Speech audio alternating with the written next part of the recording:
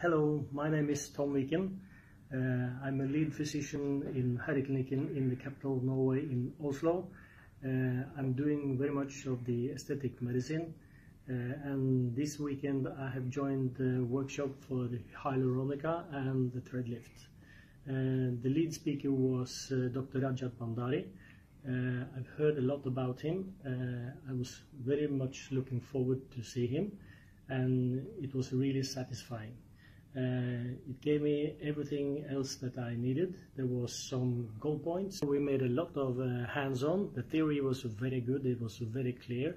Uh, and the, the practice and the hands-on was also very price done.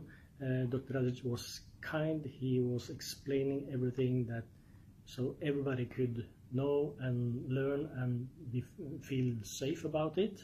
Uh, he was uh, making uh, also a good atmosphere for all the clients.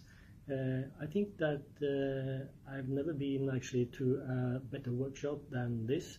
Um, and I really think that I am a much better esthetician or uh, physician in aesthetic medicine after this workshop, thanks to Rajat Bhandari.